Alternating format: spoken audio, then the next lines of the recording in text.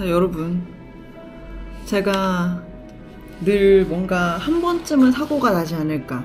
한 번쯤은 그래도 교통사고가 나지 않을까. 이런 생각을 항상 하고 살았거든요. 그래서 사고 나면 이렇게 해야지 하면서 이제 여러 가지 이미지 트레이닝을 한 적이 있었어요. 근데, 아니, 글쎄. 오늘 사고를 내버린 거예요. 와. 전면 주차를 하다가 앞에, 있- 옆에 있는 차를 콩 박아버린 거죠. 그래서 기스가 이렇게 찌찌찌직 찌직 났거든요. 제 앞에 범퍼도 나고 여기 이분 차에서도 이제 바퀴 쪽에 좀 나고 났는데 차주분한테 전화를 했죠. 어, 이거 얼마나 다행이에요. 주차한 차를 박았으니 안 박으면 정말 좋았겠지만 뭐 이미 일어난 걸 어째요?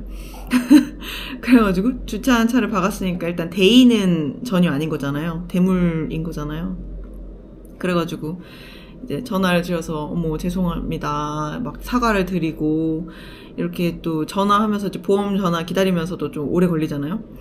또뭐 이제 오래 걸리니까 이제 그런 부분에서도 아 진짜 시간 많이 뺏기게 해드려서 정말 죄송합니다 막 이런 것도 막 이렇게 인사드리고 다 사건 접수를 했어요. 요즘에 저는 이제 DB 쪽으로 보험을 들고 있는데 전화를 하잖아요. 전화를 하면은 일단 뭐 대인이라든지 뭐 누가 다쳤 다는 그런 거 그런 게 없고 뭔가 그렇게 심하지 않은 기스면은 그냥 좀 영상으로 영상 통화로 이렇게 대체해서 이제 점검을 하나 봐요.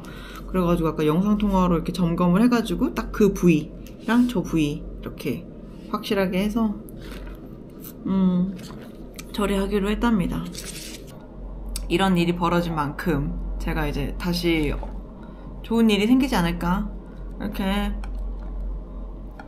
마음을 다져보면서 되게 지금 방금 갓 벌어진 일이에요. 제가 그 일이 언제 벌어졌냐면은 11시 11시 30 아니, 아니 11시 46분 진짜 아직 1시간도 안 지나 따끈따끈한 일이에요. 정말 아까 어찌나 충격적이었던지 아 에이지요.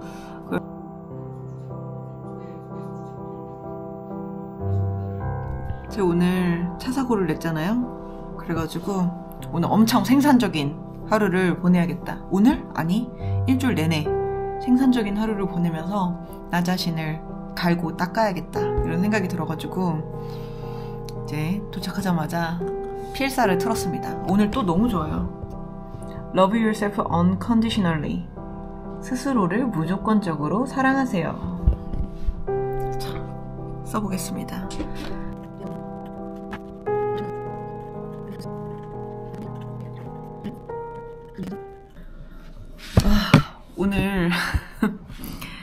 명상이 잘 안 되네요. 지금 몇 번을 틀리고 몇 번을 빼먹고 썼는지 모르겠어요. 이게 제 스스로는 괜찮다고 생각을 하고 있었는데, 그래도 약간 자책이 많이 들어요. 아, 백- 솔직히 말해서 100%제 잘못이잖아요. 오늘 명상 하나로 스스로를 이제 용서하려고 했던 오만한 제 자신. 안 돼, 안 돼. 야래 야래. 여러분, 제가 오늘 운전을 해서 왔기 때문에 운전을 해서 돌아가야 돼요. 근데 한번 사고 치신 분들은 아실 텐데, 진짜 한번 사고를 치면은 무서운 게 있어요. 다시 운전대를 잡아서 그 실수를 반복하지 않을 것인가. 그래서 오늘 하루 종일 사실 걱정이 됐던 거는 집에 돌아갈 길에 내가 정신 또 나가가지고 사고 치진 않을지. 그게 제일 걱정이었거든요. 제가 오늘 하루 겸손하게 겸손하게 사람들이 끼워달라 하면 잘 끼워줄 거고요. 속도도 높이지 않을 거고요. 원래 잘 높이는 편은 아니지만 더 신중하게 항상 늘 겸손 오늘 겸손의 아이콘이 될 겁니다. 아니요 이번 주 내내 거- 겸손의 아이콘이에요 지금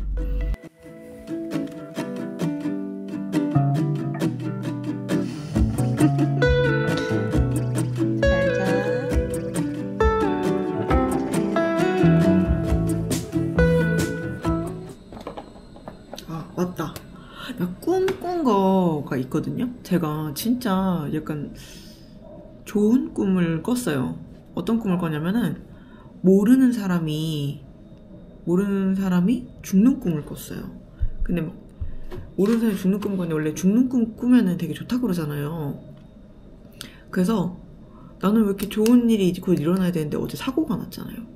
그래가지고 어, 난 좋은 일이 안 일어나지? 분명 좋은 꿈인데? 그래가지고 검색을 해봤더니 모르는 사람이 죽는 꿈은 어, 일단 안 좋은 일이 생겨야 돼. 안 좋은 일이 생기고 그걸 끝으로 좋은 일 시작이라는 의미가 있대요. 그래서 제가 지금 어떻게 보면 제 인생에서 안 좋은 일인 거잖아요. 지금 어제 사고가 난 게.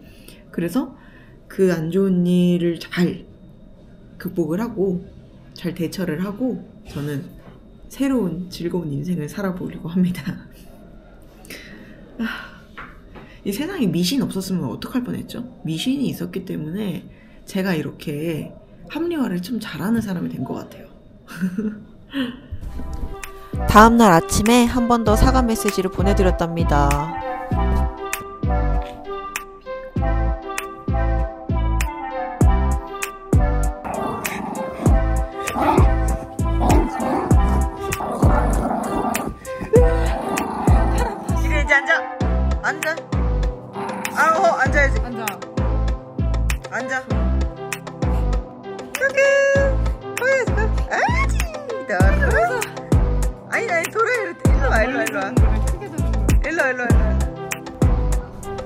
일주일 동안 겸손하게 일상을 보내보도록 노력을 하려고 했는데 가끔은 쉽지 않았지만요. 뭐 별 수 없죠. 자, 제가 지금 사고가 나고 이제 일주일이 지났거든요. 사고가 나고 일주일이 지났는데 그때 사고 난 이후로 한 번도 운전을 안 했어요. 왜냐면은 좀 무서웠거든요. 다시 운전대를 잡기가. 근데 또 되게 운전하기가 두려웠는데 극복해야 되잖아요. 극복해야 되니까 오늘 다시 운전대를 잡고 출발을 해보도록 하겠습니다. 아, 떨려요. 자, 겁내지 않고 잘 할 수 있길 해볼게요. 오늘 저랑 같이 동행한 강아지거든요. 키리, 키리 기다리고 있어. 알았지? 네. 출발해보도록 하겠습니다. 사고 나고 처음 운전하는 거거든요. 근데 마침 친구한테 전화가 와서 즐겁게 작업실로 출근할 수 있었습니다.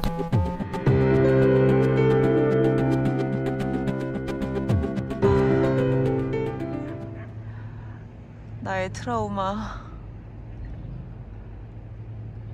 이거는 보험 처리 안 하고 제가 빡빡 닦기로 했습니다. 제가 저지른 일을 제가 스스로 처리를 해봐야겠죠?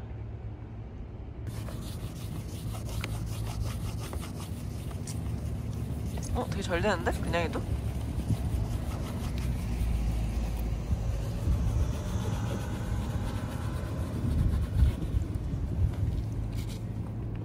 아, 뭐 뭘로 한 거야? 광택 먼저 한 거야? 아니야? 흠집 먼저? 흠집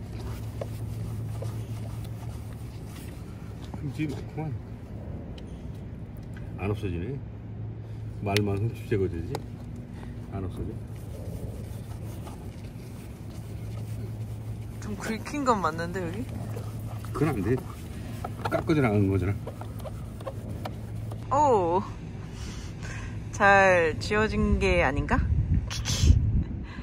아, 이 정도로는 안 될까요? 어떠십니까? 아, 솔직히 자세히 보면 있거든요? 아, 이거는 짤 수 없죠. 아, 저것도 좀 지워야겠다. 운전을 하면 안 되나 봐요. 지금 무슨 일이 벌어졌냐면, 어, 차가 방전이 됐어요. 어, 왜 방전이 됐지? 왜? 왜? 키리야, 왜 방전이 됐을까? 아, 스트레스. 시간아 멈춰라! 시간아 멈춰라!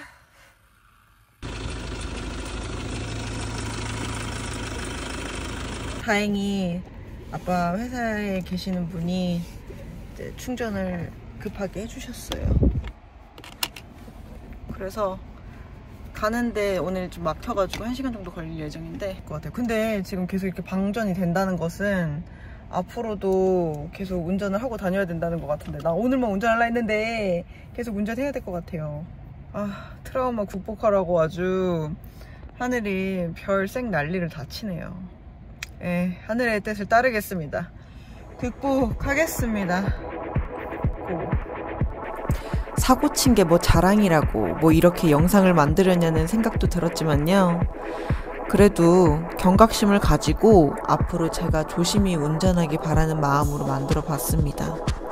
모두들 안전운전 하시길 바랄게요. 그럼 아룡.